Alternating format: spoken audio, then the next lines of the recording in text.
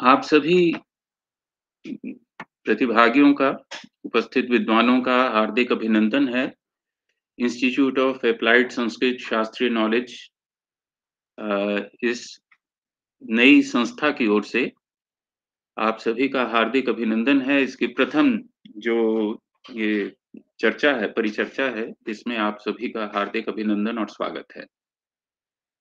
और सीधे विषय की ओर अग्रसर होते हुए आप लोगों से मैं लगभग अगले 15-20 मिनट कुछ चर्चाएँ करूँगा और फिर उसके बाद आपके सुझाव, आपके कमेंट्स और बाकी सब चीज़ों को जिस तरह के भी विचार होंगे और जितने भी विविध आयाम होंगे, उन सबको इस पे हम आज चर्चा करेंगे। इससे पूर्व ये मैं स्पष्ट कर दूँ कि ये जो भी मैं आप लोगों के साथ साझा करना जा रहा हूँ, इसका जो केंद्र है, केंद्र तो शास्त्र ही है, संस्कृत शास्त्र है और उसके साथ दो बातें और हैं, जिसको हमें ध्यान में रखना होगा कि हम शास्त्र के साथ युक्ति किस तरह की प्रयोग करते हैं। और युक्ति के साथ-साथ हमारा अनुभव हमें क्या कहता है, ये सबसे महत्वपूर्ण बात है। तो जो कुछ भी हम इस संस्थान में बातचीत करेंगे, काम करेंगे या जो भी हमारा भविष्य रहेगा, जिस तरह की भी योजना बनेगी, उसमें शास्त्र केंद्र में रहेगा और उसके साथ जो उसके दो पंख रहेंगे, वो युक्ति और अनुभव रहेंगे। और जिससे कि जो हम करना चाहते हैं, उसको हम प्रभावी रूप से और प्रमाणिक रूप से कर भी सकें और वो सारा का सारा उपयोगी हो। और जैसा कि आप विषय देख रहे हैं, आज हमने जो विषय रखा है, वो विषय रखा है व्हाट इज़ अप्लाइड संस्कृत शास्त्रीय knowledge and how to do it. ये अनुप्रयुक्त संस्कृत शास्त्रीय ज्ञान से हमारा अभिप्राय क्या है? हम क्या कहना चाहते हैं? और इसे क्रियान्वित कैसे करना है, इस सारे विषय को लेकर के हम ये चर्चा करने जा रहे हैं। अब इसमें आप ये देखिए कि यहाँ केंद्र में संस्कृत शास्त्रीय ज्ञान को रखा है, ये हमारा मूल आधार है। अनुप्रयुक्तता शब्द को हम पहले प्रयोग कर कर लिया है हमने, एप्लीकेशन जिसका अर्थ है। 2 शब्द और उसके साथ हमें ध्यान रखने हैं कि अनुप्रयुक्त तब होगा, जब उसकी कोई उपयोगिता होगी, उसकी यूटिलिटी होगी और उसकी कोई संगतता रेलेवेंस होगी। तो जो कुछ भी संस्कृत शास्त्रीय ज्ञान है, संस्कृत शास्त्र तो है उन पे कोई आपत्ति, आक्षेप नहीं आप कर सकते, लेकिन जो उसमें निहित ज्ञान है, उसको हमने प्रयोग में कैसे लाना है, उसको उपयोगी कैसे बनाना है, उसकी संगतता को कैसे हमने लेना है, इस सारी बातों को ध्यान में रख करके हमने अपने विषय को चुना है और इसी के आधार पर हमने आगे की सारी कार्य योजनाएँ आरंभ करनी है। अब आप ये जानते हैं कि जब हम संस्कृत शास्त्र की बात कर रहे हैं, तो उसको हमें स्थापित कहाँ करना है? तो दो उसमें बातें हैं, एक और इंडिया खड़ा है और एक और भारत है। और ये बात आप सभी जानते हैं कि कॉन्स्टिट्यूशन ने भी आपको यही कहा है, हालाँकि उन्होंने मिलाने की कोशिश की है कि इंडिया दैट इज़ भारत करके आर्टिकल वन में, लेकिन वो मिक्सचर होने की बजाय वो कुछ का कुछ कंफ्यूजन में चला गया है और बहुत सारी बातें जो हैं वो chaos में हमें जिसकी अभिव्यक्ति हमें प्रजा के लोगों के व्यवहार में दिखाई देती है। तो एक तरह से इंडिया और भारत के बीच में जो भू-भाग है, उसमें ये खींचा-तानी में फंसा हुआ है। तो उसमें हमें अपनी अपनी स्थापनाएँ करनी हैं, संस्कृत शास्त्र की पुनः प्रतिष्ठा जिससे हो और लोग भारतीय दृष्टिकोण से जीवन जी सकें और लोक मंगल हो, ऐसी हमें अपेक्षा के साथ इस सारे विषय को देखने और समझने का प्रयास करेंगे। अब आप देखिए कि सबसे पहले जो संस्कृत शास्त्रों की चुनौती है, जो मैं आगे भी बात कहता हूँ, कॉन्स्टिट्यूशन से आती है, क्योंकि इस कॉन्स्टिट्यूशन में सामान्य रूप से हम ये सभी जानते हैं कि जितने भी मूल्य लिए गए हैं, वो वेस्टर्न कंट्रीज़ से लिए गए हैं। भारतीय मूल्य एक भी नहीं है। अभी तक आप सभी जानते हैं कि इसमें एक भी भारतीय मूल्य नहीं है। तो उस ऐसा संविधान जिसके सांस्कृतिक आधार नहीं है, या तो हम उसको सांस्कृतिक आधार प्रदान करें, अपने शास्त्रों के आधार पे, नहीं है और अगर बहुत दुस्साहस कर सकते हैं, तो उसको हम जो अभीष्ट परिवर्तन है, उन परिवर्तनों को लाएँ। दूसरा, मैं बहुत संक्षेप में और बड़े तीव्रता से आगे चलना चाहता हूँ, क्योंकि 15 लगभग 15-20 मिनट का ये वक्तव्य हो जाएगा, ताकि उसके बाद आप लोगों की ओर से जो भी सुझाव या आलोचनाएँ हैं, उसको हम टेकअप कर सकें। दूसरी जो सबसे बड़ी चुनौती आपके सामने आती है, संस्कृत शास्त्रों की बात करते हुए और परंपरा की बात करते हुए, आपकी इंडस्ट्री, कॉमर्स और ट्रेड। क्योंकि यहाँ जो प्रयुक्त होने वाली भाषा है, उसमें संस्कृत का कहीं कोई स्थान अभी तक तो नहीं बन पाया। लगभग पिछले 80 70 75 80 के वर्षों में हम लोग संस्कृत को इस रूप में स्थापित नहीं कर पाए कि इंडस्ट्री, कॉमर्स और ट्रेड भी इसकी डिमांड करें या वो अपनी पॉलिसीज़ इसके आधार पर बनाएँ या इसके आधार पर वो अपनी वार्ता या दंड नीति का प्रयोग करें। तीसरी ओर आपका जो है वो पार्लियामेंट है, हालाँकि ये पुराना क्षेत्र है, लेकिन न्यू पार्लियामेंट में फिर भी उन्होंने कुछ प्रयोग करने की कोशिश की है। जैसे कि आज ही जो है हमने न्यूज़पेपर में पढ़ा कि भी भारतीय दंड संहिता और इस तरह की कुछ शब्दावली प्रयोग की गई है और नए जो हैं वो उन्होंने नियम बनाए हैं। अब आप पार्लियामेंट में देखें तो पार्लियामेंट में भी जिस तरह का व्यवहार होता है, वहाँ पर संस्कृत शास्त्रीय मर्यादा का कोई ही कोई संबंध आपको नहीं दिखाई देता। जबकि आप कह रहे हैं कि वो भारत की संसद है और संसद में संसदीय व्यवहार की मर्यादाएँ क्या होंगी? क्या हमने कभी उस तरह से विचार करने का प्रयास किया कि संस्कृत शास्त्रीय ज्ञान क्या उसके लिए जो है वो प्रस्तुतिकरण देता है? जैसे कि हमारी दो सभाओं का हम ज़िक्र तो करते हैं कि सभा और समिति का, लेकिन हमने उसको कभी इस तरह से प्रयोग नहीं किया और ना ही हमने कभी ये कहने का साहस किया कि भाई संसद जो है, लोकसभा और राज्यसभा जब शब्द प्रयोग कर रहे हैं, तो सभा और समिति शब्द क्यों नहीं हमने प्रयोग कर लिए या उन दोनों की कोई समानता है या इस तरह की बात। एक और जो चौथी जो इसका परिप्रेक्ष्य है, जो इसकी भूमिका के रूप में रहेगा चर्चा में, वो है इंडियन जुडि जुडिशरी। अगर आप लोगों को कहीं ध्यान हो तो एक लगभग लगभग 25 साल पहले 25 या 20 साल पहले एक अ, सुप्रीम कोर्ट का निर्णय था कि जब भी अ, किसी अ, ये जो इंडियन कॉन्स्टिट्यूशन है, इसके हिंदी अनुवाद को वो मान्यता नहीं मिलेगी और इसका जो अंग्रेज़ी अनुवाद है, उसे ही स्तरी स्टैंडर्डाइज़्ड फॉर्म में एक्सेप्ट किया जाएगा, उसे ही प्रमाणिक माना जाएगा, उसका हिंदी अनुवाद प्रमाणिक नहीं माना जाएगा। ये सुप्रीम कोर्ट की एक रूलिंग बहुत साल पहले आई थी, जहाँ पर यह कहा गया था कि भई हिंदी के अनुवाद जो है उसको मान्यता दी जाए। तो इसका मतलब क्या हुआ कि जब भी आप अपनी भाषा के शब्दों को यहाँ लाएँगे तो उनका जो संदर्भ होगा, उनका जो रेफ़रेंस पॉइंट होगा, वो आपका ब्रिटिश या ऑक्सफोर्डियन व्यू पॉइंट होगा। वहाँ से आपके जो भी शब्दावली होगी, वहाँ से नियंत्रित होगी। आप चाहे कितने ही आप भारतीय शब्दों का प्रयोग कर लें, लेकिन जो अंग्रेज़ी का स्तरीकरण होगा, जो अंग्रेज़ी की परिभाषाएँ होंगी, उनका जो इतिहास होगा, उसके आधार पर ही आपको अपनी भारतीय भाषाओं में शब्दों को उन्हीं अर्थों में प्रयोग करना होगा और मुझे लगता है कि ये बहुत बड़ा दुर्भाग्य है। तो ये भी हमारी एक चुनौती है जिसे आपको और हमें ध्यान रखना है। और इन आरोपों की मैं आप लोगों से पहले ही बात कर चुका हूँ और इसके विषय में मुझे कुछ ज़्यादा नहीं कहना है कि इनको भी हम चुनौती दें, जो कि संस्कृत शास्त्रों पे चरित्रगत आक्षेप करते हैं, स्त्री विरोधी होने का आक्षेप करते हैं, जाति सिर्फ़ कास्ट के साथ उसको आइडेंटिफ़ाई करके जैसे कि मनुस्मृति के प्रति बड़ा एक दुराग्रह रहता है, जैसे लगता है कि उसमें सिर्फ़ जाति ही जाति है और कुछ है ही नहीं।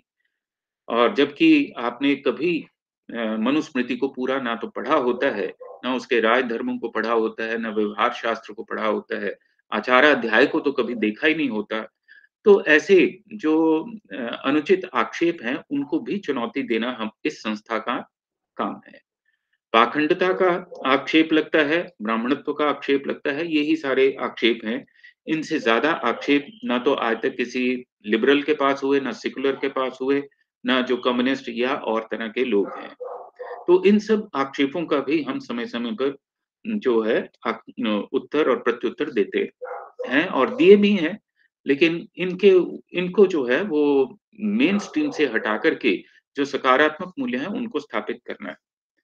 दूसरी ओर एक और बड़ा सुंदर आक्षेप लगता है, जो मुझे लगता है कि जिसको हमें बहुत गंभीरता से लेना चाहिए, वो है कि संस्कृत शास्त्रों के बारा बारे में ये कहा जाता है कि Sanskrit mindset has failed in observation क्योंकि जब भी हम विज्ञान की बात करने लगते हैं, तो हमारे ऊपर सीधा ये एक आ, बात कही जाती है कि संस्कृत शास्त्र has failed in observation it followed no experimental approach इसलिए अब आप समझ सकते हैं कि जब हम अप्लाइड की बात करते हैं तो उसका मतलब क्या है कि उसका एक्सपेरिमेंटल एस्पेक्ट बहुत ज़रूरी है। तीसरा जो आक्षेप लगता है वो है इट इज़ इम्प्रैक्टिकल कि ये इम्प्रैक्टिकल है। और चौथा जो है it is dominated by superstition तो ये, जैसा कि वो मैंने आपसे पहले भी कहा है कि अंधविश्वासों से भरपूर है, ऐसा उनकी मान्यता है और ऐसा जो है, एक नरेटिव डिज़ाइन किया गया है। डिस्कोर्स पिछले सौ सालों में, दो सौ सालों में प्रचलित किया गया और मुझे लगता है कि ये हम सभी की मिलकर ज़िम्मेदारी है। उत्तरदायित्व है कि हम इसको चुनौती दें और इसका खंडन करें। अब इसी बात को थोड़ा सा और आगे बढ़ाते हुए है कि एक हमने सर्वे किया था लगभग साल पहले।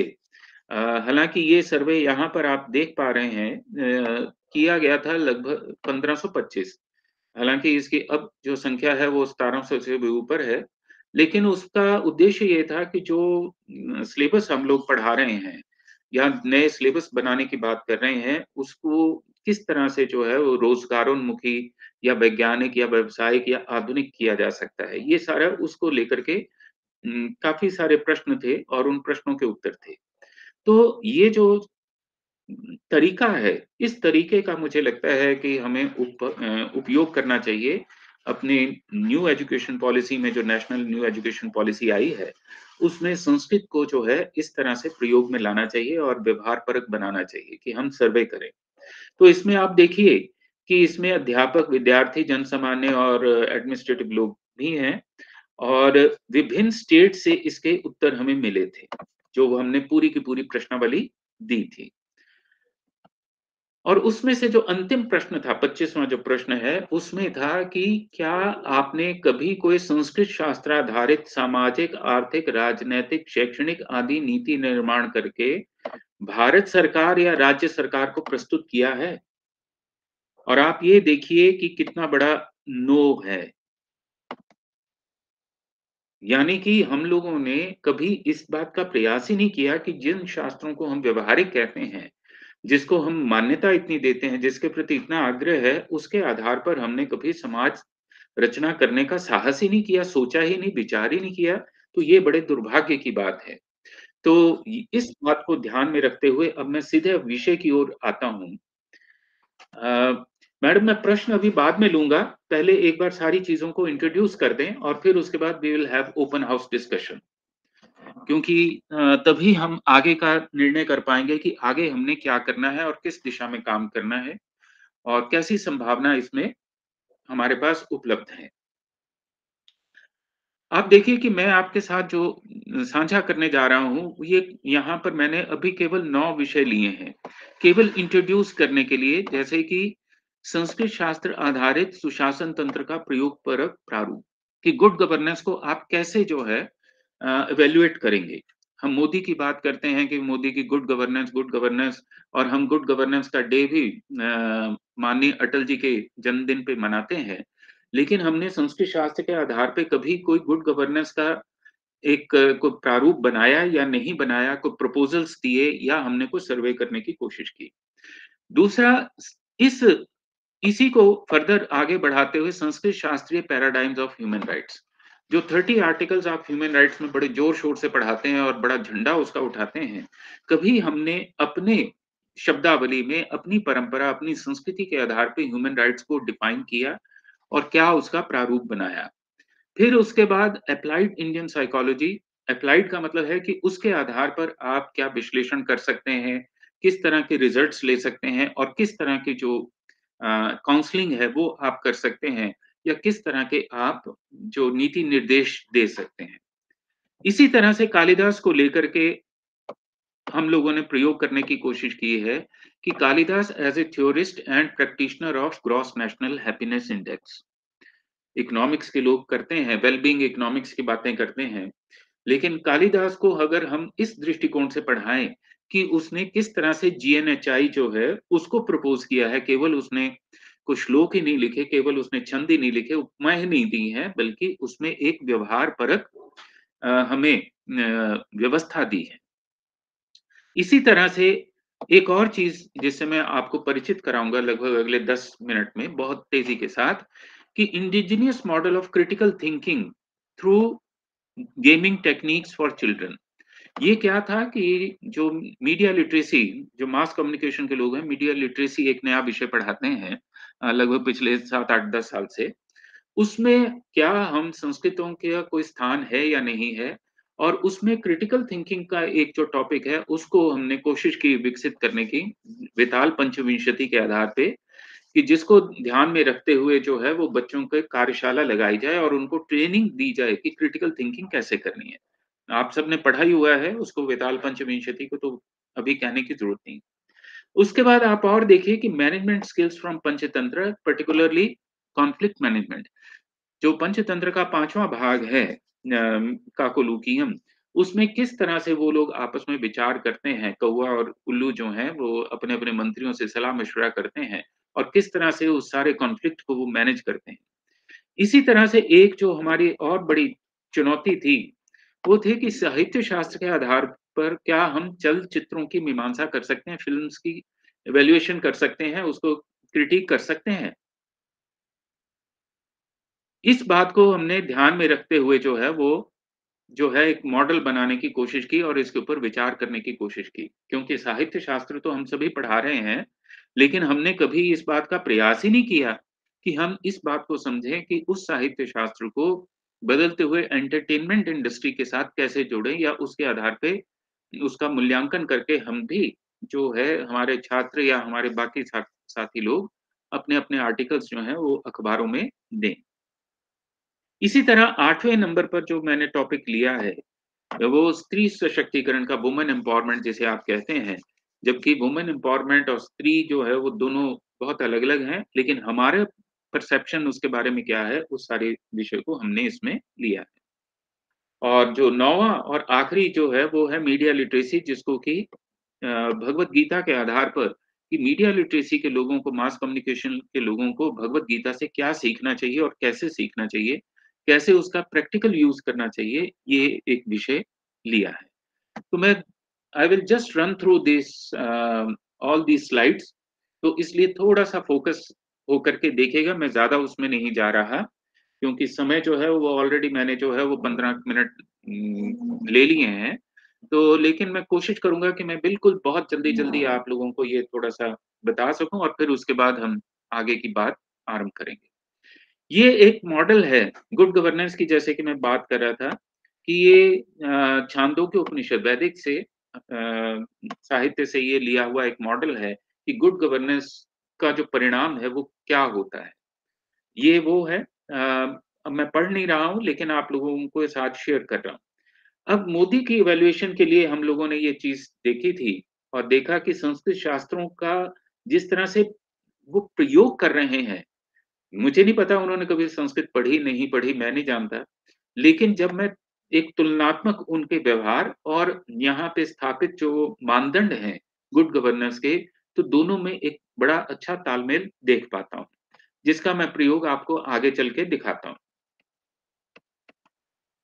ये देखिए कि यहाँ पर हमने संस्कृत शास्त्र एक लिया है किरात अर्जुनियम अब किरात अर्जुनम के आधार पर आप उसकी सुशासन तंत्र को देखिए तो हम ये जानना चाहते हैं कि क्या शासन व्यवस्था प्रजा रंजन पर आधारित है। हाँ नहीं, पता नहीं, इस तरह का एक गूगल फॉर्म बना करके आप इसका जो है अपने स्टूडेंट्स को कह सकते हैं, अपने पीएचडी में इसका प्रयोग कर सकते हैं। और हाँ नहीं, आप सर्वे करिए, सर्वे के आधार पर फिर आप अपनी एवेल्युएशन या रिपोर्ट तैयार करें। क्या राष्ट्र के अधिकारी आलसी, स्वार्थी, असावधानी पूर्वक कार्य करने वाले हैं? ये भी वहीं से है। केवल अपनी ओर से हमने क्या किया है? क्या लगा दिया है? क्वेश्चन मार्क लगा दिया है। तो इस तरह से क्या शासन केवल सैन्य बल से चलाया जाता है? तो इस तरह के जो हम लोगों ने चीज़ें ली हैं और इसके आधार पर हमने मूल्यांकन करके एक रिपोर्ट बनाने का प्रयास किया है। तो इसको अप्लाइड कहने का हमारा पर्पस है। तो ये केवल मैं आपको दिखा रहा हूँ, इसी तरह से रामायण पर आधारित केवल एक ही नहीं है कि हमने एक ही प्रश्नावली बनाई, रामायण के आधार पर भी प्रश्नावली है। उसी तरह से महाभारत के आधार पर भी प्रश्नावली आप देख सकते हैं, जिसके आधार पर मूल्यांकन कर सकते हैं। इसी तरह शुकनासो उपदेश के आधार पर भी आप एक मूल्यांकन कर सकते हैं। तो ये सारे वो क्वेश्चनर्स हैं जिसको हम प्रयोग में ला सकते हैं, अपनी रिपोर्ट्स तैयार कर सकते हैं और उन रिपोर्ट्स को पब्लिश कराएँ और फिर उसके आधार पर जो है हम कहीं ना कहीं तो कुछ ना कुछ तो सुस्थापित होंगे। इसी तरह से आप, Sanskrit paradigms of human rights उसमें जब, जैसा कि मैं पहले भी आपसे कह रहा था कि हमें सबसे पहले दूसरों को चुनौती भी देनी है। चुनौती दें और चुनौती दे करके जो है, ये चुनौती दी हुई है कि क्या भारतीय शिक्षाविदों और बुद्धिजीवियों के पास अपने परिवेश और यथार्थ के अनुकूल मानवाधिकार संबंधी कोई शब्द या धारणा है? क्या ऐसा हमने कभी को प्रयोग किया? हमने कभी सोचने की कोशिश की? या वो कनाडा के लॉयर ने जो बनाए थर्टी आर्टिकल्स और उनको हमने मान लिया, एक्सेप्ट कर लिया। हमने उसके अपने संदर्भ क्यों नहीं दिए? या अपनी भाषा और संस्कृति से उसको रिप्लेस करने की कोशिश क्यों नहीं की? अब ये देखिए कि वहाँ के जो आ रहे हैं ह्यूमन राइट्स वो इन आधारों पे आ रहे हैं। मैं इसमें ज़्यादा नहीं जा रहा, क्योंकि मैं I just want to run through all this ताकि आप लोगों को एक आइडिया दे सकूँ कि जिसको मैं अप्लाइड कहने की बात कर रहा हूँ कि वो अप्लाइड क्या है। ये ह्यूमन राइट्स इसलिए वहाँ पे बेस्ट में बात करनी ज़रूरी थी, क्योंकि इस तरह से वहाँ पे ट्रीट किया जाता था लोगों को, इस तरह के परिणाम वहाँ थे। और ये जो आप देख रहे हैं अपनी स्क्रीन के ऊपर, ये मॉडल है जो संस्कृत शास्त्र के आधार पे है कि इसके अंदर आपके थर्टी आर्टिकल्स ह्यूमन राइट्स के भी आ जाते हैं, आपका फंडामेंटल राइट्स भी इसमें सारे आ जाते हैं और आपके डायरेक्टिव प्रिंसिपल कॉन्स्टिट्यूशन के वो भी इसमें आ जाते हैं और ये केवल एक पेज में है। आपको उतना बड़ा कुछ पढ़ने की, करने की ज़रूरत ही नहीं है। और ये इसके प्रशिक्षण की तरीका है कि संवेदना, संस्कार और अधिकार। कुछ चीज़ें आप लोगों ने पहले देखी हुई होंगी, लेकिन मैं प्रयास कर रहा हूँ कि इसको जल्दी जल्दी समाप्त करूँ। ये अप्लाइड जो है, जिसे हम कहते हैं अप्लाइड इंडियन साइकोलॉजी ये उसकी बात है। और इस अप्लाइड इंडियन साइकोलॉजी में आप देखिए कि सबसे आसान तरीका क्या है अपने का मूल्यांकन करना। कि सबसे पहले हम अपना मूल्यांकन करना सीखें कि हमारी पर्सनैलिटी हमारा व्यवहार, हमारी सोच, उसको हम कैसे जाने ताकि हमें क्या वास्तव में आ, किसी प्रकार की कोई काउंसलिंग या करेक्टिव मेथड्स अपनाने की ज़रूरत है या नहीं है? तो ये हमारा एक मूल स्ट्रक्चर है और इसमें आप एवेल्युएशन जो करते हैं वो वन टू सिक्सटीन के स्केल पे करते हैं। कमाल की बात देखिए वन टू सिक्सटीन के स्केल पे किस लिए? क्योंकि सोलह कला संपूर्ण जो है वो उसकी अवधारणा हमारे शास्त्रों में मिलती है। हालाँकि वो उसके कई आयाम हैं लेकिन उस एक से सोलह का स्केल के ऊपर जब आप इसको एवेल्युएट करेंगे तो आप देखेंगे कि आपको पता लगेगा कि आपको कितनी साइकोलॉजी में काउंसलिंग की करेक्टिव मेथड्स की या अन्य उपायों की आवश्यकता है या नहीं है, ये सारी बातें हमें यहाँ।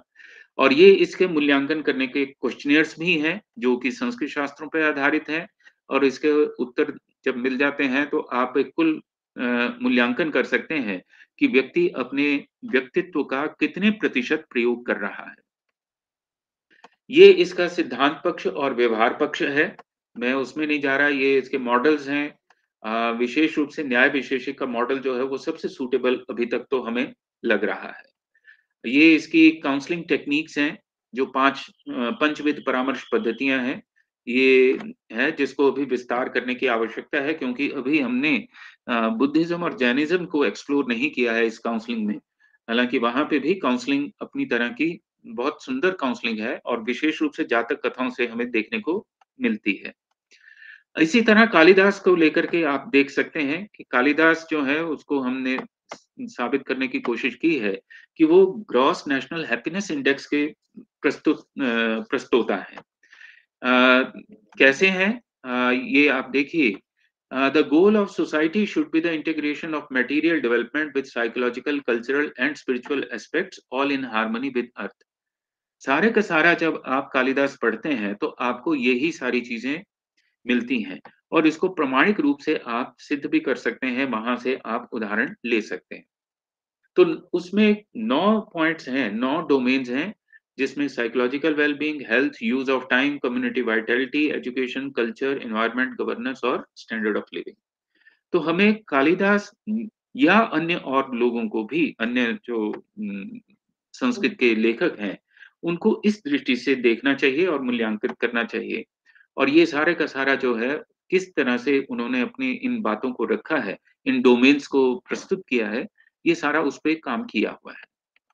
तो मैं ज़्यादा आगे और आगे हाँ, अब ये देख लीजिए कि critical thinking through gaming techniques for children एक आध हम लोगों ने कार्यशाला लगाई थी, लेकिन फिर उसके बाद उसको छोड़ दिया क्योंकि ऐसी बातों के लिए समर्थन ढूँढना वो थोड़ा कठिन हो जाता है और इसमें मेरे एक मित्र जो मास कम्युनिकेशन में कुरुक्षेत्र यूनिवर्सिटी में हैं उनका बड़ा सहयोग रहा है। मीडिया लिटरेसी क्या होती है, आदि-आदि वो सब करके तो हमने Indian model of media literacy पहले तो ये बनाया कि अन्यथा विधान और अभितान्वयवाद। मैं इन शब्द शब्दों में नहीं जा रहा, लेकिन यहाँ से हमने शुरू किया और किस तरह से न्यूज़ जो है वो बनती है, चलती है, उस सारे मॉडल के ऊपर बात करने के बाद, उसमें जो क्रिटिकल थिंकिंग के पैरामीटर्स हैं, वो न्यायशास्त्र और अनेकांतवाद, इन 2 पर आधारित किए। क्योंकि अगर आपने मिस इन्फॉर्मेशन को डील करना है, पार्शियल इंफॉर्मेशन को, मोटिवेटेड इंफॉर्मेशन को, एक्सेस इंफॉर्मेशन में, फेक न्यूज़ जिसे आप कहते हैं, उन सबको अगर हैंडल करना है, तो आपको न्यायशास्त्र और अनेकांतवाद, ये दो बातें अच्छे से पता होनी चाहिए।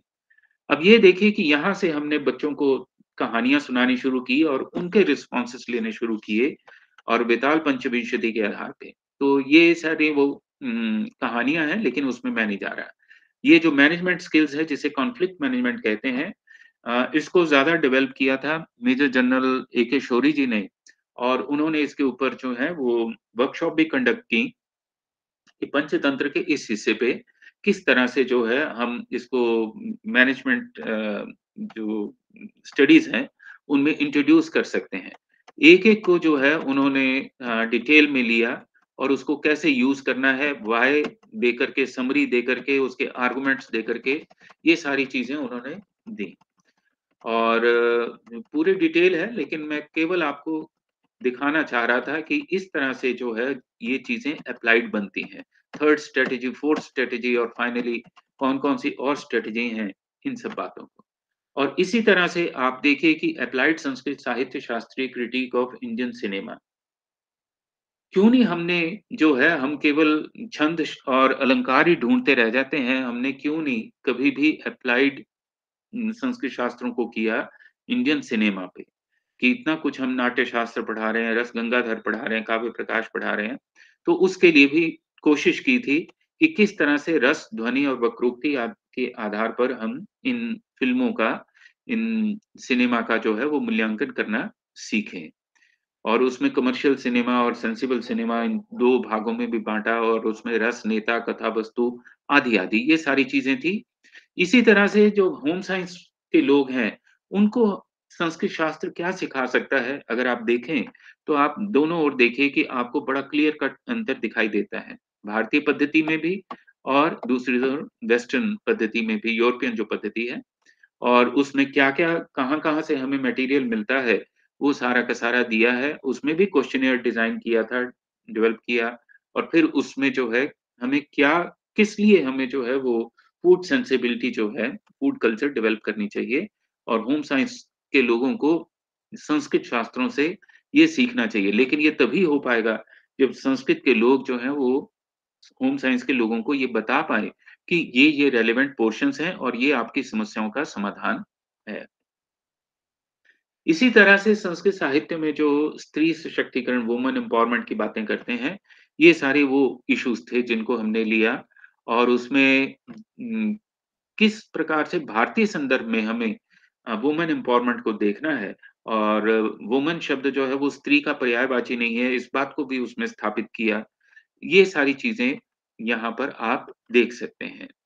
और जो लास्ट में कह रहा था आपसे कि भई जो मीडिया लिटरेसी जिसके ऊपर बड़ा ज़ोर है आजकल मीडिया और न्यूज़ पेपर इंडस्ट्री में, वो है कि उसको भगवत गीता से क्या सीखना चाहिए या भगवत गीता उसके लिए कैसे यूज़फुल हो सकती है और वो क्या सिखाती है।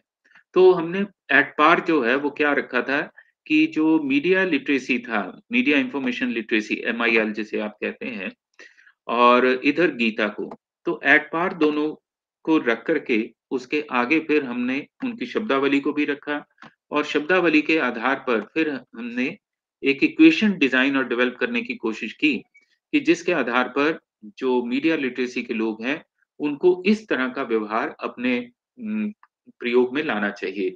इस तरह से अगर मीडिया लिटरेसी चलेगी तो ज़्यादा सेंसिबल चीज़ें जो हैं और ज़्यादा अकाउंटेबल मीडिया जो है वो व्यवहार कर सकता है। तो कुल मिलाकर के ये बातें थी जो मैंने आप लोगों के साथ साझी की। ये केवल आप लोगों को एक दिखाने के लिए था, दिग्दर्शन मात्र था कि इस तरह से अप्लाइड का हमारा आइडिया है कि हम ये चाहते हैं कि जो भी शास्त्र हो, वो संस्कृति हो, हमारे मूल्य हो, उनको हम व्यवहार में लाएँ। अन्यथा तो बड़ा मुश्किल रहेगा कि हम अपना कुछ कर नहीं पाएँगे और हम उसका शोर ज़रूर डालते रहेंगे कि भाई संस्कृत को बचाओ संस्कृति को बचाओ। आ, हम वेस्टर्न होते जा रहे हैं लेकिन वो कैसे होगा उसके लिए ये आवश्यक है कि हम आ, उसको अप्लाइड बनाएँ उसकी रेलेवेंसी को जो है वो साबित करें सिद्ध करें। और एक चीज़ जो मैंने शुरू में भी कही थी कि जैसे कि मोदी गवर्नमेंट ने जो है वो स्वच्छता सर्वेक्षण शुरू किया था स्वच्छता के जो है वो योजना लागू की थी। लेकिन उसमें हम संस्कृतज्ञों का तो बहुत बड़ा योगदान होना चाहिए था।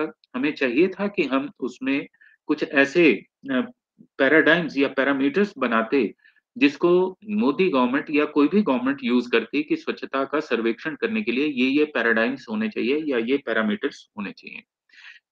लेकिन वो हमने कभी किया नहीं, जबकि हमारे पास बहुत सारा मटेरियल आपको बाण भट्ट के महाश्वेता से मिल जाता है कि जो स्वच्छता की अंतिम पैमाने आप मानिए कि स्वच्छता उससे ज़्यादा बेहतर डिफाइन हो ही नहीं सकती। तो कुल मिलाकर के इस तरह के हम लोगों के प्रयास हैं और भी बहुत सारी इस तरह की चीज़ें हैं जिनके ऊपर हम लोगों ने बहुत प्रयास करने की कोशिश की है, लेकिन वही है कि सीमित साधन और सीमित समर्थन होने के कारण उसका विस्तार ज़्यादा नहीं हो पाता।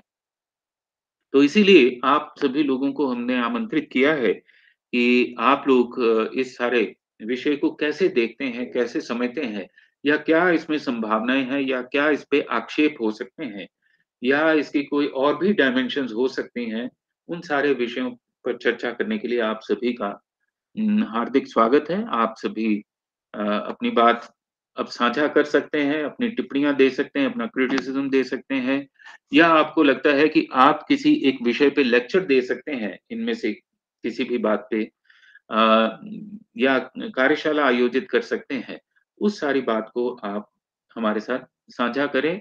बिल्कुल ओपन हाउस डिस्कशन है किसी तरह का कोई भी प्रश्न कोई चुनौती कोई क्रिटिसिज्म जो भी है तो सबसे पहले डॉक्टर रविंद्र कुमार गुप्ता जी और डॉक्टर रविंद्र जी जो हैं, इन्होंने गीता, जो बाकी लोग हैं, उनके लिए मैं ज़रूर बताना चाहूँगा, गीता और भारतीय संविधान।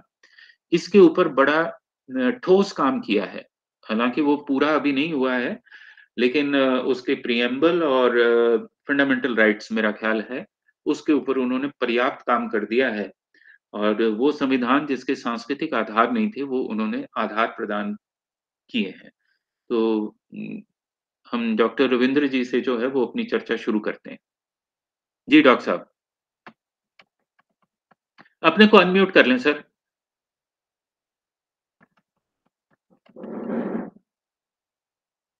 नहीं रविंद्र जी डॉक्टर साहब अपने को अनम्यूट करें।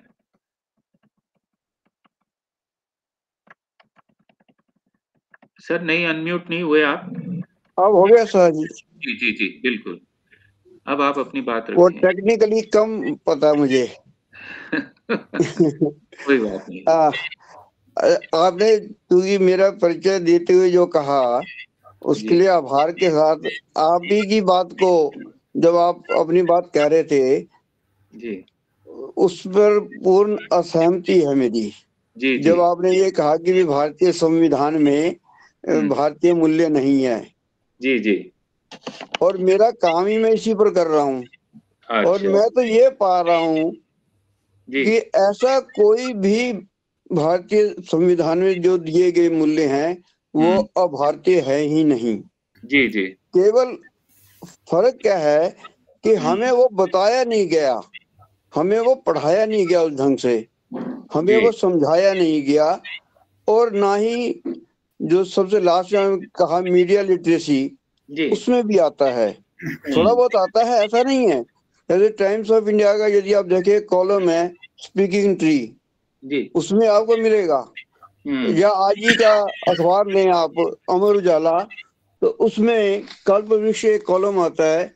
उसमें उन्होंने लिखा है टॉप हेडिंग यही है कि पूछने जानने की प्रक्रिया है गीता। जी। तो मेरा ये कहना है कि वास्तव में हुआ क्या है?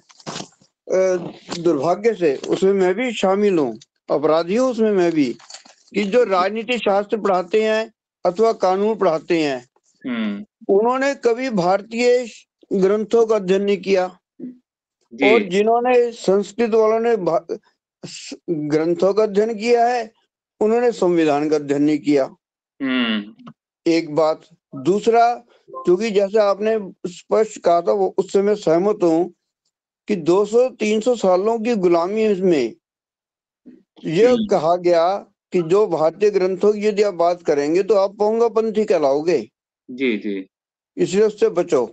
मैं हम्म। एक छोटा उदाहरण देता हूँ सर कि अभी पंद्रह तारीख वैसे तो पच्चीस तारीख को होना रिटायर वो क्योंकि छुट्टियाँ पड़ रही हैं। सुप्रीम कोर्ट के जो जज हैं माननीय न्यायाधीश संजय कौल जी हम्म। उनका अभी बड़ा बहुत इम्पोर्टेंट जजमेंट आया था आपको मालूम ही होगा राइट टू नो के ऊपर। तो उन्होंने अपना सेपरेट डिसीज़न दिया था। और उस हम्म। सेपरेट डिसीज़न उन्होंने ये कहा कि न्याय की अवधारणा हमारे लिए कोई नई नहीं है। जी जी। ये तो हमारी प्राचीन काल से है। और हम्म। उसके समर्थन में उन्होंने भगवत गीता के चौथे अध्याय के आठवें श्लोक को कोट किया था। हम्म परित्राणाय साधु नाम। अच्छा। अब उन्होंने किया तो शायद हम मान लेंगे। हम्म। और यदि मैं कहता तो शायद कोई ना मानता। जी जी। तो हुआ ये है सर कि हमने इस तरह से अध्ययन ही नहीं किए हैं। जी। कि इंटरेक्शन जिसे हम इंटरडिसिप्लिनरी अप्रोच नहीं बनाया हमने। हम्म। एक बात। दूसरा सर कुछ बातें मैं सिर्फ़ जानकारी कहना चाहता जैसे आपने वो गेमिंग की बात की है ना? जी। तो मेरे एक मित्र हैं कैथल में हैं स्कूल टीचर हैं। मिस्टर विजय हैं चावला। जी। उनका बहुत काम है। उन्होंने बहुत से खेल भी बनाए हैं।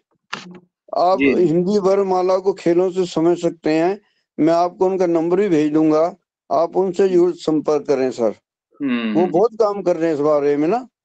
अच्छा। पिछले आठ दस साल से। अच्छा। और राष्ट्रीय स्तर पर अब उनकी कार्य को मान्यता भी मिल रही है। ओके। इसी प्रकार से जहाँ फ़िल्म वाली आप बात कर रहे हैं थे जब हम्म। तो वहाँ भी मैं आपको दो नाम भेजूँगा। जी जी। एक तो कैथर के ही हैं। वो हम्म। पहले फ़िल्म क्रिटिक ही थे इंडियन एक्सप्रेस में। हम्म तो उनका काफ़ी अध्ययन है। अच्छा। और एक मेरे मित्र है पुणे में। उनके पास फ़िल्मों का और फिल्मी गीतों का भंडार है और बड़े बाई एज प्रोफेशन तो वो इंजीनियर हैं लेकिन उनका शौक रहा है इसलिए उनका बड़ा अध्ययन है। ठीक है। तो तो ये तो तो ऐसे बहुत से लोग हैं हमें जिनके हम संपर्क कर सकते हैं। हाँ, तो वो तो मैं नाम भेजूँगा ही आपको लेकिन आज मैं इसलिए ज़्यादा बात नहीं कर रहा हूँ क्योंकि कल का जो टॉपिक है जी। वो ज़्यादा मेरे लिए मुफीद रहेगा। तब मैं आपकी इस धारणा पर कि ऐसा इसी प्रकार से जैसे आप कह रहे थे ह्यूमन राइट्स की बात कर रहे थे जी। ह्यूमन राइट्स में सर कोई ऐसा मानवाधिकार नहीं है कि जिसकी प्रस्तावना भगवत गीता में ना मिलती हो। जी ऐसे ही जो सस्टेनेबल डेवलपमेंट गोल आई हैं मिलेनियम गोल हैं वो। उनके भी मिलेगी। आपको रामायण आप यदि पर्यावरण के ऊपर बात करेंगे सर तो मैं नहीं समझता यदि आपको भी मालूम होगा रामायण में तो पूरा पर्यावरण संरक्षण है। नहीं ये तो है लेकिन डॉक्टर साहब हमारा तथ्य ये नहीं है। हमारा तथ्य ये है कि हम अपने ही ग्रंथों के आधार पे क्यों नहीं कोई पॉलिसीज़ या मॉडल डिज़ाइन करते? नहीं थोड़ा-सा करते ये एक विपरीत दिशा है। कि देखिए अ- अ- एक तो पक्ष ये है कि जो वहाँ पर उन्होंने बना के दे दिया हम उसको अपने शास्त्रों में ढूंढ ले ये एक पक्ष है। लेकिन दूसरा पक्ष ये है कि हम अपने श- शास्त्रों में जो कुछ है उसके आधार पर हम डिज़ाइन करें और फिर वो लोग जो हैं उसको बेशक स्वीकार करें। हाँ मैं डॉक्टर मैं साहब इसको आप व्यक्तिगत ना लेना नहीं नहीं एक बिल्कुल बड़ा कटु अनुभव बता रहा हूँ।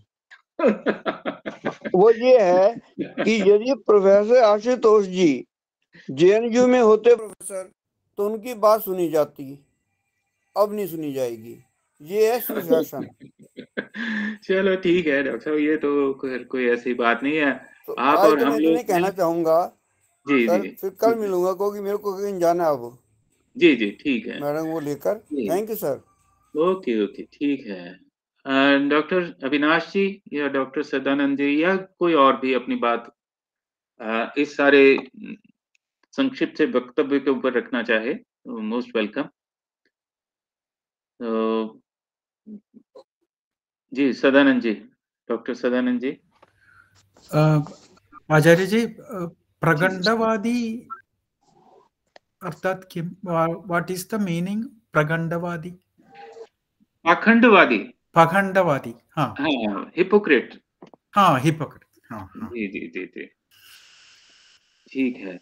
और ये एक फॉर्म आप लोगों के साथ शेयर किया है। प्लीज़ आप उसको भर दीजिएगा ताकि नेक्स्ट जो हम लोग टेकअप करेंगे लेक्चर्स उसमें आप अपनी इंफॉर्मेशन फ़ीड कर सकते हैं और उन इश्यूज़ को फिर हम धीरे धीरे करके टेकअप करते रहेंगे।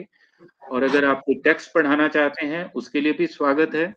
और यदि कुछ और कार्यशाला या लेक्चर या जो भी आप चाहते हैं उस तरह की फिर उसमें हम निरंतर व्यवस्था करते रहेंगे। जी डॉक्टर अविनाश जी। आ, नमस्कार। सबको संवेद नमस्कार। आरंभ में ही जो हम कॉन्स्टिट्यूशन संविधान में देखते हैं इंडिया दैट इज़ भारत वस्तुतः इंडिया शब्द एक नकारात्मक शब्द है जो अंग्रेज़ों ने भारतीयों को नीचा दिखाने के लिए प्रयोग किया था। इसलिए उनका उनकी बराबरी तो होनी ही नहीं चाहिए। हिंदुस्तान या भारत जो शब्द है उसमें कहीं नेगेटिविटी नहीं है। प्रारंभ में ऐसा हुआ था कि इंडिया शब्द का प्रयोग उन लोगों के लिए किया था जिन लोगों में ज्ञान की कमी है और जिनका आचरण उनके अपेक्षा न्यूनतम माना जा रहा है। तो सबसे बड़ी आपत्ति तो हमें संविधान के उस पंक्ति पर है जिसमें लिखा गया है इंडिया दैट इज़ भारत। तो यह भी हमें ध्यान में रखना है। दूसरी ओर जब हमारा अनुप्रयोग संविधान परिप्रेक्ष्य में हो रहा है तो कोई अब हम प्रयास करें कि हमारे पास जो शब्दावली हैं उन्हें इस प्रकार विकसित करें कि हमारे सारे आशय जो संविधान में लिख मैंने जो में क्या कहते हैं अनुच्छेद हैं और ये सारी चीज़ें हैं। उनके आशय का पूर्ण प्रकटीकरण हो ऐसे शब्दों का विकसित करना भी हमारा एक लक्ष्य हो जाता है। अन्यथा हम कोई विशेष कार्य नहीं कर पाएँगे अगर उसी को हिंदी में हम अनुवाद कर लेते हैं तो मैंने हिंदी में स्वीकार कर लेते हैं। यह तो बात सही है कि तत्सम तद्भव देशज और विदेशी शब्द को हम ये अनुसरण कर लेते हैं लेकिन यथासंभव हम उनके लिए उपयुक्त शब्दों का अगर हम गढ़ लेते हैं तो इससे अच्छी बात कुछ हो ही नहीं सकती है।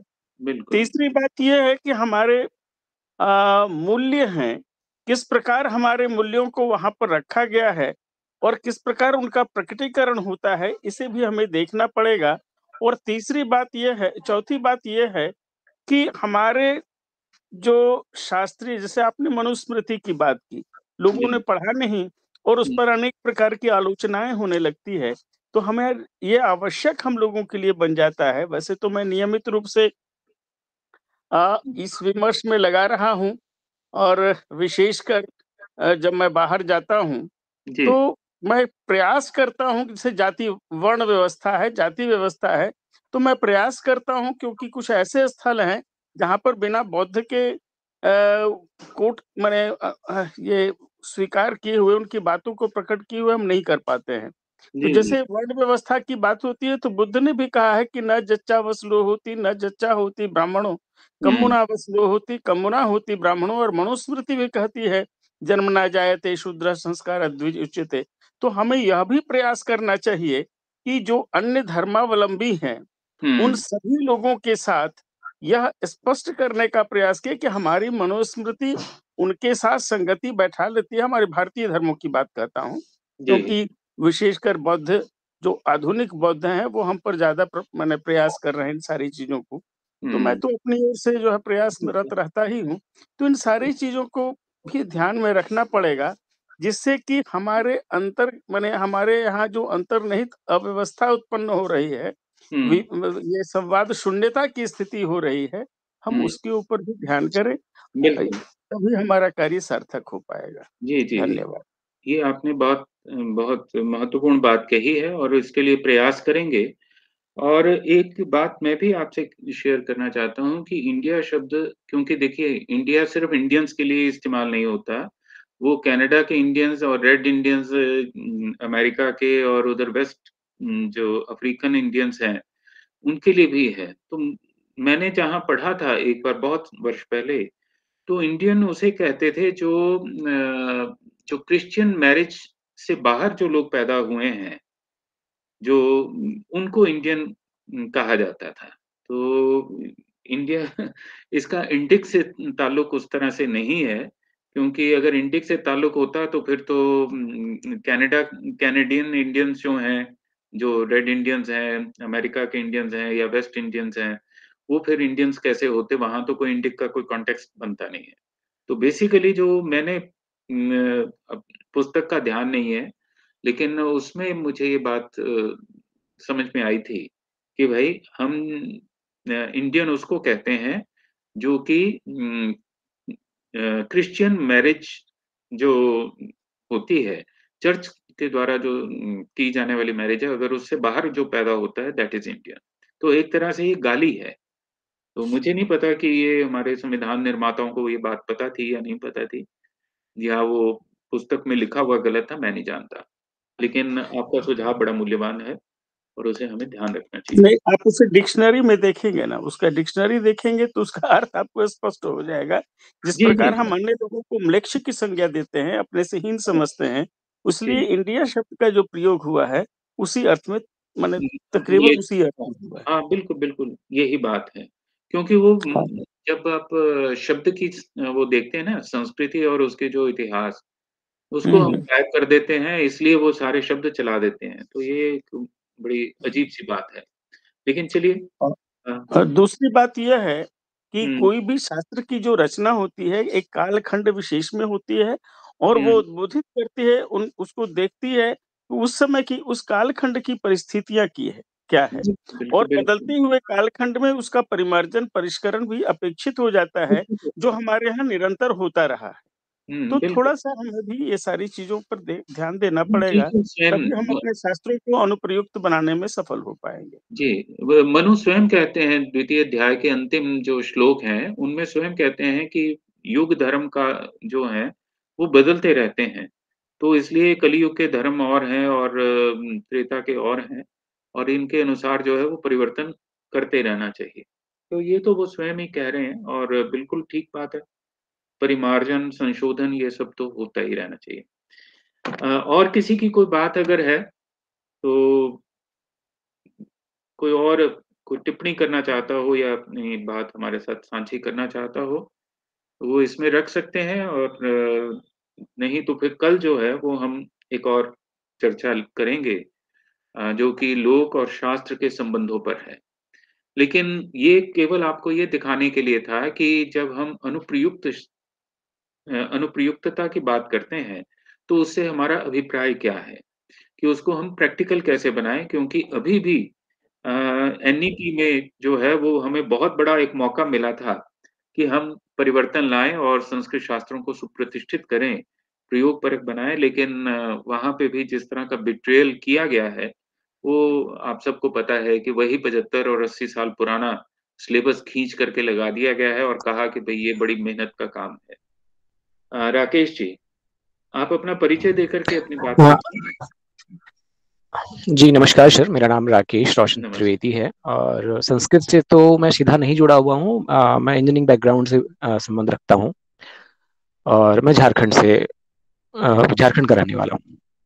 तो मेरा ये कहना था जैसा अभी शरण ने कहा कि जो हमारे तत्सम तद्भव देश विदेश जो शब्द हैं उससे विपरीत या विभिन्न जो हम अपना समर्पित शब्द बना ले तो केवल समर्पित शब्द बनाने से ही होगा ऐसा नहीं है। उसका एक्सेप्टेंस ज़रूरी है नहीं तो अदरवाइज़ ऐसा हो सकता है कि हम कहीं अलग खड़े दिखाई देंगे। क्योंकि बहुत सारे ऐसे शब्द हैं जो संस्कृत में यदि हम बोलने लग जाए या संस्कृत हिंदी शब्द बोले तो कई लोगों को समझ में नहीं आता बहुत सारे लोगों को समझ नहीं आता। लगेगा कि हम कोई पहाड़ के टीले पे अकेले बैठे हुए हैं, इस तरह से लगेगा। दूसरा यह है कि आपका जो प्रयोग है, अभी तक इस प्रकार से अप्लाइड वे में मतलब एक अनुपम प्रयोग है, जिसके लिए मतलब जितना भी कहा जाए मतलब बहुत ही अनुकरणीय है, बहुत ही सराहनीय है। और आपने ये भी जो कहा कि अभी तक हमने कोई भी सरकार के सामने प्रपोजल्स क्यों नहीं रखे या हमारे जो भी रिसर्च स्कॉलर थे उन्होंने क्यों नहीं रखा ये बहुत ही अच्छा बात है। सरकार वही सुनती है जो जन भावना रहती है या हम प्रयास करते रहते हैं। राम मंदिर की भावना भी इतने लंबे समय से इसलिए नहीं इसलिए मानी गई और उसका रिज़ल्ट भी इसलिए आया कि लोग लगे रहे। तो कहीं ना कहीं जो आप कह रहे हैं उसके लिए बहुत ही मतलब आपको धन्यवाद बहुत ही साधुवाद। इतना ही कहना है बाकी और कल का क्लास देखने के बाद कहेंगे। जी, धन्यवाद, नमस्कार। धन्यवाद धन्यवाद, डॉक्टर साहब। इसमें एक बात और है कि ये शब्दों, शब्दावली की बात बिल्कुल उचित है। भारत सरकार का एक विभाग है C S T T mission for scientific and technical terminology उसके साथ थोड़ा सा मेरा ताल्लुक है। तो वहाँ पर जो शब्दावली निर्माण किया जा रहा है अंग्रेज़ी से हिंदी और अन्य भाषाओं में योग में कहीं भी नहीं आ रहा। तो मेरा उनको यही उनको बार बार आग्रह हो रहा था कि आप जब अनुवाद करते हैं तो साथ में पूरी एक पंक्ति दें या कि इस शब्द को प्रयोग कैसे करना है। क्योंकि जब तक व्यक्ति को प्रयोग करना नहीं पता उसका तो वो मुख्य भाषा में मुख्य धारा में वो आएगा ही नहीं। तो एनीवे anyway, ये बात बिल्कुल उचित है और इस बात को हम आगे चल के जैसे जैसे हमारी चर्चाएँ होंगी तो उसमें देखेंगे कि भाई इसको कैसे हम इसका प्रयोग करना है और कैसे समझ जी राम ओम। इस क्रम में एक बात मुझे कहना जी, है जी, कि अगर आप रशिया या यूक्रेन चाहे अन्य देशों में जाते हैं जहाँ पर अंग्रेज़ी प्रचलित नहीं है तो एक वर्ष विद्यार्थियों को यूक्रेनी भाषा या रशियन भाषा सिखाई जाती है और वो हम्म। सारा का सारा उनका जो आख्यान होता है वो या तो यूक्रेनी में होता है अगर आप यूक्रेन में है तो या अगर रशिया में पढ़ रहे हैं तो वहाँ रशियन में होता है। और इसके पूर्व की जो आप अगर इतिहास देखने का प्रयास करेंगे तो आप इंग्लैंड अंग्रेज़ अंग्रेज़ जो पहले दूसरे भाषा का प्रयोग कर रहे थे धीरे धीरे उन्होंने सारी चीज़ों को अंग्रेज़ी में परिवर्तित करना आरंभ किया। वे डच नहीं बोलते हैं डेनिश नहीं बोलते हैं तो ये सारी चीज़ें हैं कि अपने भाषा को सशक्त और समर्थ बनाना हमारा कार्य है दूसरे नहीं करेंगे। जिस प्रकार यूक्रेन में हमारे विद्यार्थी यूक्रेनी में पढ़ते हैं रशियन में पढ़ते हैं रशिया में उसी प्रकार अगर भारतवर्ष में हमारे विद्यार्थी ये तकनीकी शिक्षा अगर हिंदी भाषा में लें तो इससे श्रेयस्कर कुछ हो ही नहीं सकता है। जब वो अपने समानांतर भाषा का निर्माण कर सकते हैं वैज्ञानिक भाषा का निर्माण कर सकते हैं तकनीकी भाषा का निर्माण कर सकते हैं इस कार्य को करने में हम भी सक्षम हो सकते हैं। जी बिल्कुल ठीक बात है और देखते हैं कि कैसे हम क्या कर सकते हैं। धीरे धीरे अभी बातें सामने आएँगे। राम जी ओम आपने अपना हाथ खड़ा किया है। आप कुछ कहना चाहते हैं? या और कोई अपनी बात अपने को अनम्यूट करके कह सकते हैं? अगर कोई किस कोई सुझाव है या कोई क्रिटिसिज्म है? और नहीं तो इस आज के इस कार्य को हम यहीं पे पूर्ण करेंगे। समाप्त शब्द में प्रयोग नहीं करना चाहता। इसके अलावा और भी बहुत सारे हैं, जैसे कि मेडिकल एस्ट्रोलॉजी का एक विषय है। हमने उसको कभी बहुत ध्यान नहीं दिया, जबकि वो एक बड़ा सार्थक और उपयोगी विषय है। कि आप छठे घर से जो है अपनी कुंडली में किस तरह से देखते हैं और आप एक अनुमान प्रस्तुत कर सकते हैं। अपनी सेहत के बारे में और चीज़ों के बारे में। तो बहुत बहुत सारे विषय हैं बहुत लेकिन यही है कि उन सबको करने के लिए एक सभी लोगों का सहयोग अपेक्षित है तभी वो आगे चल सकता है। तो जी जी जी। हेलो?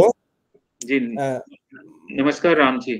नमस्ते नमस्ते। आ, मैं तो साहब प्रशासनिक सेवाओं में हूँ और मैंने हमने और डॉक्टर दीपिका कोठारी ने बहुत सारी फिल्म्स बनाई है ये जो आपने जैसे अब इंडिया की बात हो रही थी तो इंडिया पे ही एक फ़िल्म है डॉक्यूमेंट्री फ़िल्म है। उसको कभी अवार्ड वगैरह भी मिले हैं। तो मैं उसी संदर्भ में एक तो वो निवेदन सबसे पहले तो मैं आपको धन्यवाद दे दूँ कि आप इतना बड़ा काम कर रहे हैं। देखिए ये बहुत बड़ा काम है। ये जो आपने काम किया है ना ये मतलब अद्भुत है। इसको बोलते हैं हम अपनी दृष्टि विकसित करना अपनी दृष्टि सम अब तक हमको देखा गया है पश्चिम की दृष्टि से। तो पश्चिम का गेज हम उसका सामना करते आए हैं। तो उनके पास अपने फॉर्मूला है जिसको बोलते हैं ना पिजन पिजन होल अपने कबूतर खाने बना रखे हैं वो हमारे आइडिया हमारे साहित्य हमारी सभ्यता को उन कबूतर खानों में वो घुसा घुसा के देखते हैं और वहीं फिट करते हैं वो कि इसका अर्थ यानी उनके पास ग्रीक हो रोम हो या अपनी पुरानी हो या अभी नए जो सिद्धांत उन्होंने विकसित कर लिए हैं उन सिद्धांतों को अप्लाई करते हैं हमारे सभ्यता और हमारी संस्कृति और हमारे साहित्य और संस्कृत और सब पर। जैसे शेल्डन पोलो के एक उदाहरण है अभी। हाँ, बिल्कुल। तो आप जो काम कर रहे हैं बहुत बड़ा काम कर रहे हैं कि अपनी वास्तव में इसकी बातें बहुत होती है लेकिन आपका काम देख के मुझे लगा कि आप वास्तव में काम कर रहे हैं अपने अपनी दृष्टि कैसे विकसित की जाए देखने की चीज़ों को देखने की भारतीय दृष्टि कैसे विकसित की जाए चाहे मनोविज्ञान हो और चाहे कोई भी रस सिद्धांत हो आपने बहुत सारी चीज़ें मैं थोड़ा सा बीच बीच में ध्यान भी मेरा इधर उधर चला गया तो ठीक से मेरी बहुत जिज्ञासा है इस बारे में। तो मैं ये कहना चाहता हूँ कि ये काम आगे बढ़े और हम इसमें पूरी तरह से आपके साथ हैं किसी तरह से। धन्यवाद। अभी जो भारत और इंडिया वाली बात हो रही थी जी। तो इस विषय में संविधान निर्माताओं ने बड़ा विस्तार से चर्चा की थी और इंडिया इसलिए रखा गया था क्योंकि इंडिया जैसे आज हम यू आज हम में यूएस का क्रेज है ना क्रेज कि आदमी अमेरिका अमेरिका भागना चाहता है।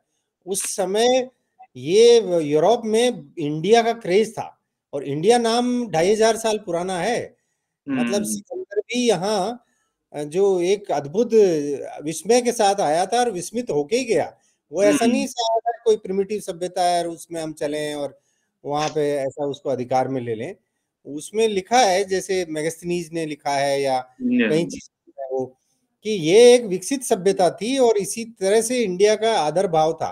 तो इंडिया शब्द के पीछे एक बहुत बड़ा सांस्कृतिक विजय छुपी हुई है। जी। ये उसके कई एस्पेक्ट हैं उसमें एक एस्पेक्ट ये है कि इंडिया नाम के पीछे भी हमारा वर्चस्व विश्व गुरु जो बनना चाह रहे हैं हम तो इंडिया इंडस सिंटोस चाइनीज़ हमको सिंटोस बोलते थे ग्रीक हमको इंडस इंडिया बोलते थे। तो ये बड़े आदर से और हमको गुरु मान के और यहाँ शिष्य भेजते थे और हमारे यहाँ विश्वविद्यालय थे पढ़ के जाते थे। तो ये सब चीज़ों की एक इतिहास है उस इतिहास को बचाने के लिए हमने ये रखा है इस पर काफ़ी डिस्कशन हुआ है। लेकिन आपका तो काम को मैं प्रणाम करता हूँ और जब जब भी आपसे जुड़ने का मौका मिलेगा मैं बिल्कुल धन्यवाद। और जो आपने ये डॉक्यूमेंट्रीज बनाई हैं इसको मैंने अपने कॉलेज में तो भेज दिया है क्योंकि मैं तो अब उस सारे कार्यभार से मुक्त हो गया हूँ।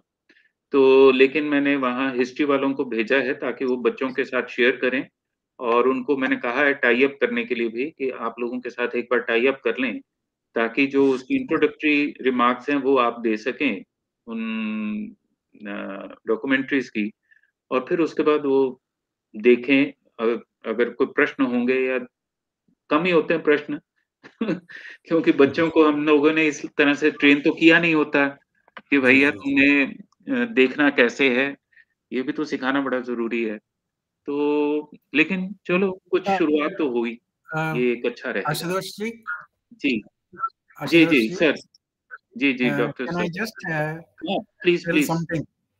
yeah, sure please do share one thing which is very interesting is our world within our borders is a, actually a symbolic world that mm. is hmm. not understood properly by many people. Uh, that symbolic pradikatmaka jagat. Mm.